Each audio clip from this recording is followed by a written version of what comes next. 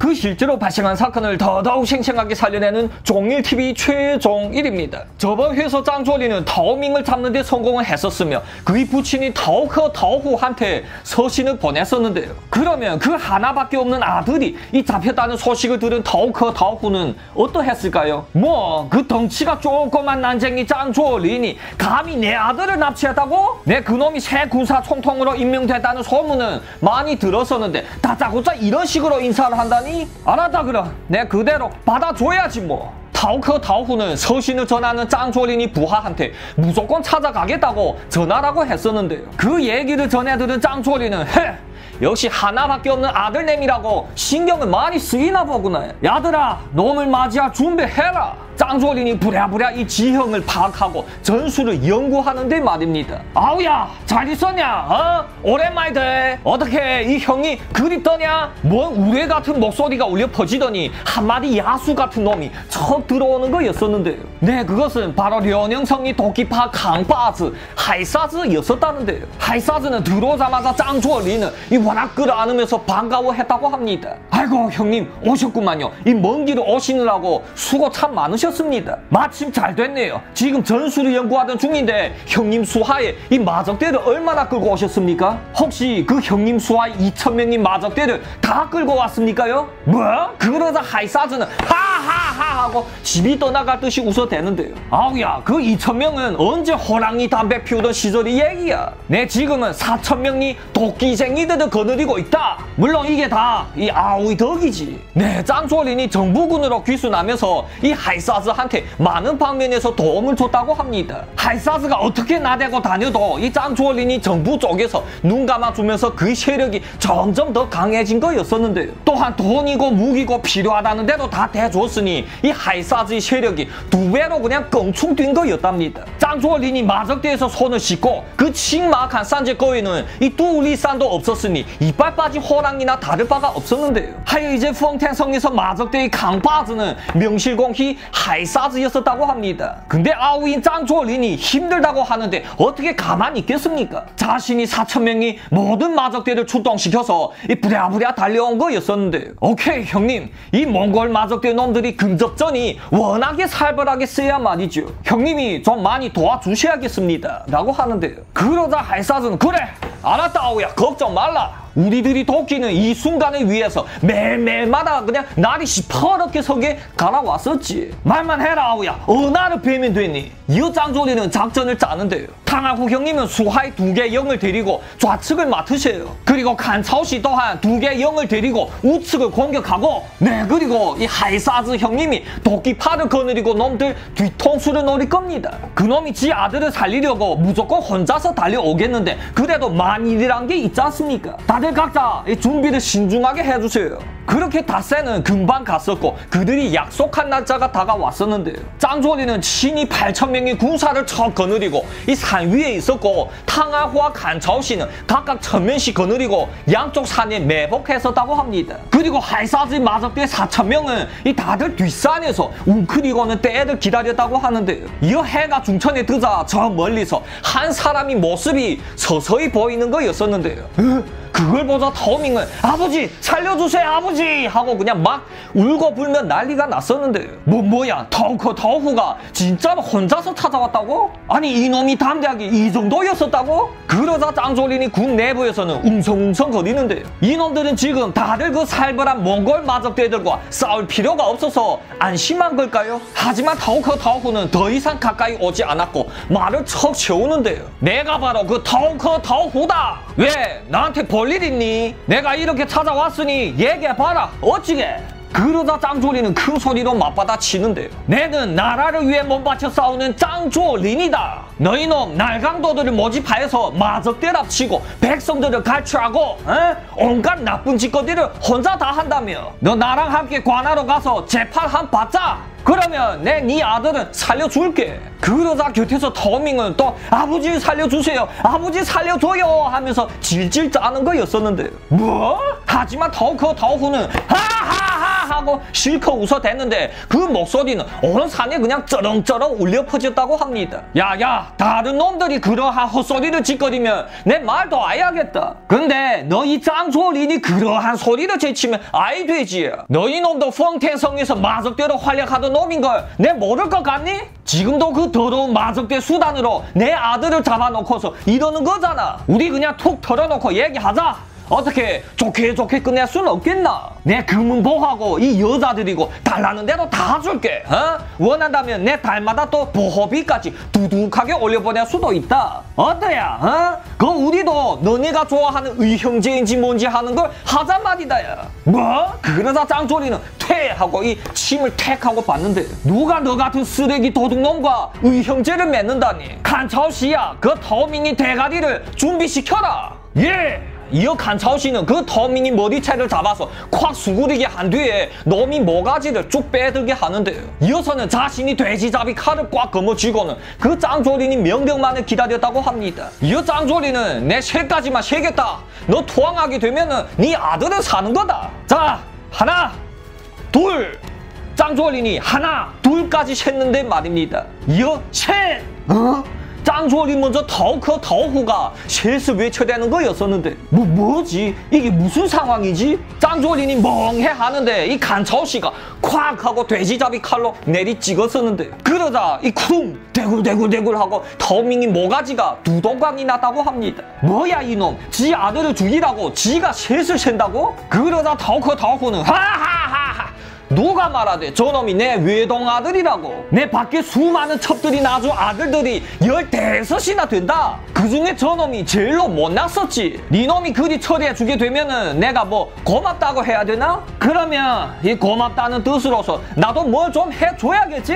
타오커 타오쿠는 갑자기 손을 척 들더니 이 전진하라는 손짓을 하는 거였었는데요 그러자 그러자 말입니다. 갑자기 구동구동구동구동 하고 땅이 막 울려나는 거였답니다. 뭐 뭐야? 지진이야 뭐야 이거? 그 타오커 타오쿠의 뒤에서는 시꺼먼 먼지들이 막 일어나더니 엄청난 물이 마적대들이 야짜 야짜 하고 몰려오는 거였었는데요. 하지만 그 수가 너무나도 많아서 이 대충 짐작도 안 갈 정도였다는데요. 그러자 짱조리는 어어 야들아 야들아 뭐하니? 쏴라 이어 짱조린이 군사들이 당당당당 하고 쏴대면서 그놈들은 물러나게 했었지만 어림도 없었다고 합니다. 이 몽골 놈들은 앞에 놈이 죽어서 쓰러져도 그 뒤에 따라오는 놈은 추허의 망설임도 없이 계속하여 진공해 오는데요. 뭐 뭐야 이놈들 이거? 뭔 작전 방식이 이러야? 네 그 몽골 놈들이 작전 방식은 너무나도 간단하고 무식했었는데요. 바로 모든 힘을 다해서 그 적군이 중심에까지 파고들어서 적군 대장부터 제껴버리는 거였다고 합니다. 그 망 연명의 목표는 오직 하나. 그 짱조린이 대가리였었다고 하는데 짱조린이 군대 역시 수많은 전쟁을 겪어왔었지만 하지만 이러한 놈들은 또 처음인데요 그 놈들이 앞뒤도 안 가리고 이 무작정 칼을 들고 쳐들어오자 짱조린이 본거지까지 뒤흔들리게 되었다고 합니다. 그 짱조린 앞에 있던 부하들은 무더기로 쓰러지면서 거의 짱조린이 앞에까지 쳐들어왔다고 하는데 그 그러자 짱조리는 더 이상 이제 도망칠 곳도 없는데 칸차오 씨와 탕아후를 이 좌우측으로 보냈으니 이제 그 누가 이놈들이 상대가 되겠습니까? 이 속도가 빠른 몽골 마적대들 앞에서 도망을 가봐야 얼마나 도망칠 수 있겠습니까? 나이 짱조리니 여기서 끝인가 하는데 말입니다. 아우야 형이 왔다 너 먼저 뒤로 피했어라 그 몽골 마적대들 뒤에서 한 무리 기마병들이 막 달려오는 거였었는데요. 이 기마병들은 모두 다 크나큰 도끼를 꽉 잡고는 이 냈다 찍으면서 들어왔는데 그 기세는 몽골 마적대들한테도 조금이라도 뒤지지 않았었는데요. 그러자 몽골 놈들도 당황해 났다고 합니다. 이제껏 자신들이 이 근접전에서는 천하제일인 줄 알았었는데 이거 뭐 어디서 듣도 보도 못한 도끼쟁이들이 살벌하게 쳐들어오니 말입니다. 네 그것은 바로 도끼파이 하이사즈였었는데요. 하이사즈는 원래 놈들이 뒤통수를 쳐야 하는데 짱조린이 위급하니 이 먼저 달려온 거라고 하는데요. 그 러자 짱조린은 정신이 번쩍 들었다고 합니다. 야들아 도끼파 형님들이 왔다. 다들 정신 똑바로 차리고 진공하자. 저것들을 앞뒤에서 이 포위 공격하게 되면 우리가 승리다. 짱조리는 도망치기는커녕 이 위기를 기회로 바꾸려고 했었는데요. 네, 하지만 이는 이 목숨을 내건 도박과 별 다를 바가 없겠는데요. 이 전세가 어떻게 기울지 어떻게 알겠습니까? 하지만 이때 몽골 놈들이 좌우 측에서도 이 요란한 고함 소리와 함께 두 무리 군사들이 들이닥치는데요. 야들아, 빨리 쳐들어가자. 짱조린이 위험하다. 네, 그것은 바로 좌우 측에서 이 탕아호와 간차오씨가 꽉 조이면서 쳐들어오는 거였답니다. 사실은 말입니다. 요번 에 짱조린이 선택한 작전 방법은 실패했었는데요. 그 제일 난다긴다는 두 대장군을 이 좌우로 치게 하고 세계 방향에서 쭉 밀고 들어가는 전술은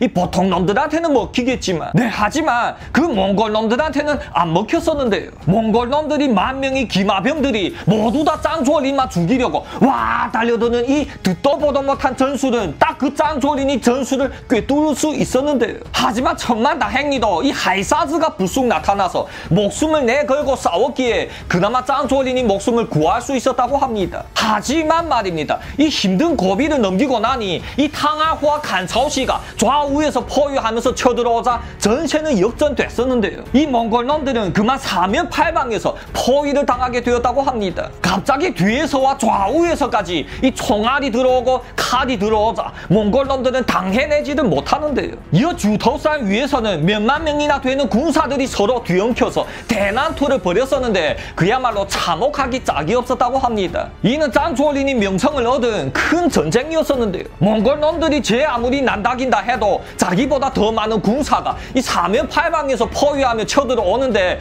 어떻게 당해낼 수 있겠습니까? 드디어 다들 제정신을 못 차리고 대혼란에 빠졌다고 합니다. 그렇게 타오커 타오쿠는 오도 가도 못하고 거의 절멸될 신세였었는데요. 하지만 하지만 말입니다. 이 도끼파의 하이사즈는 치명적인 실수를 하게 되는데요. 이 살기가 오를 대로 바짝 오른 하이사즈는 혼자서 고군 직진을 했다고 합니다. 네, 이는 빙자다지라고 병법에 있어서는 큰 실책인데요. 하이사지 전투 방식은 항상 지가 제일 앞에서 밀고 쳐들어가는 거였다고 합니다. 그러자 이 대장이 제일 앞장서서 싸우는데 뭐가 두렵겠습니까? 그 부하들이 사기는 하늘을 찌를 것이며 그렇게 막 싸우는 게 바로 하이사지 스타일인데요. 만약에 전에처럼 다른 보통 마적 대였으면 괜찮겠는데 이 몽골 놈들이 누굽니까? 이 놈들은 태생부터가 전투민족이 아니겠습니까? 지금은 비록 대혼란에 빠져들었지만 그 개개인이 전투력이 또 어디 가겠습니까? 하이사즈는 막 죽이면서 쳐들어 갔었지만 그의 부하들은 이 전투력이 딸리는데요. 드디어는 하이사즈를 따라 못 잡았고 이 하이사즈 이놈 혼자서 너무 깊숙이까지 쳐들어갔다고 합니다.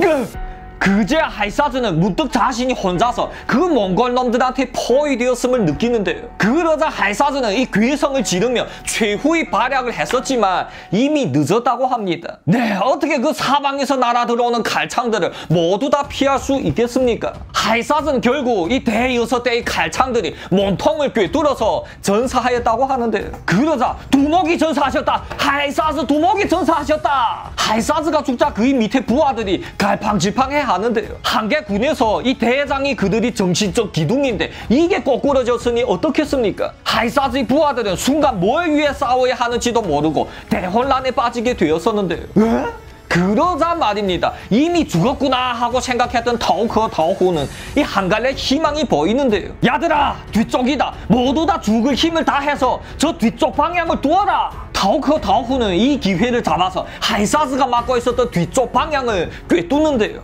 네, 말 그대로 하이사즈가 죽자 그의 마적대들은 순간 그냥 오합지졸로 변해갔다고 합니다. 타오커 타오후는 이라짜 하고 죽어라 탈출했었으며 더 이상 그를 막을 수 있는 사람이 없었다고 합니다. 뭐, 뭐? 하, 하이사즈 형님이 전사하셨다고? 그러자 짱쭤린은 이 가슴이 찢어질 듯 아파나면서 울컥해지는데요. 하지만 울어도 지금 울면 안 되겠죠. 그 하이사즈를 죽인 원수가 지금 도망을 치는데 말입니다. 타오커 타오후 我扒了你的皮 라면서 뒤쫓아갔다고 하는데요. 내 이는 내 너희 가족을 이 산채로 벗겨주겠다라는 뜻이랍니다. 그렇게 타오커 타오후는 계속하여 죽어라 도망가고 짱쭤린은 이를 악물고 쫓아갔다는데요. 그러면 그들이 죽 추격전은 대체 얼마나 지속되었을까요? 네, 무려 1년 동안이나 계속되었다고 합니다. 타오커 타오후는 자신이 마적대를 다 잃었으니 다른 마적대로 망명을 갔다고 하는데요. 하지만 그걸 짱쭤린은 온갖 수단을 다 동원하여 수소문해서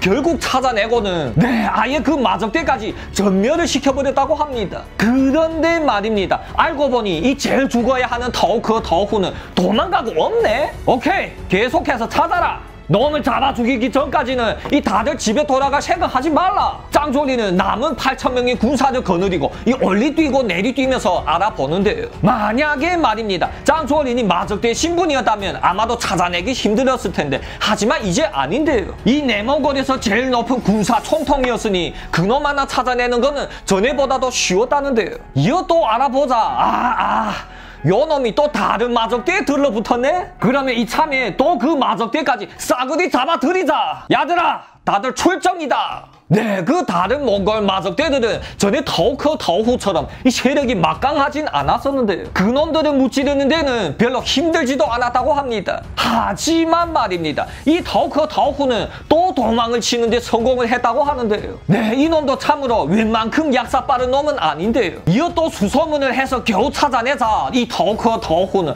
또 다른 마적대에 찰싹 들어붙었다고 합니다. 네, 이제는 벌써 세 번째 마적대인데요. 그러다 짱쭤린은 제대로 느꼈다고 합니다. 이건 뭐 하이사즈 형님 복수는 둘째치고 무조건 죽여야 하는 놈이구나 라고요. 타오커 타오후 이놈은 몽골 지역이 마적대 이 몇십 년 동안 살아왔었으니 그 지역이 마적대의 면목을 아주 잘 알았었다고 하는데요. 뿐만 아니라 그들은 다들 타오크 타오후를 인정해주면서 멘트를 아주 톡톡히 줬다고 합니다. 만약에 이런 놈을 살려두면 어떻죠? 이 놈이 주위의 마적대들 도움을 받아서 금방 일어서겠죠. 그러면 그 다음에 다시 이놈 을 유인하여 나와서 잡자면 하늘의 별 따기겠는데. 자, 우리 하이사스 형님이 복수를 위하여 그리고 이 수천만 명의 내몽골 백성들을 위하여 무조건 타오커 타오후 그놈을 잡아 죽여야 한다. 자, 저놈들도 쓸어버리자! 그렇게 짱조리는 세 번째 몽골 마적대 아지트를 치려고 준비하는데요. 네, 그러면 이 타오커 타오후는 이번에도 도망칠 수 있었을까요? 다음 회에 계속하겠습니다.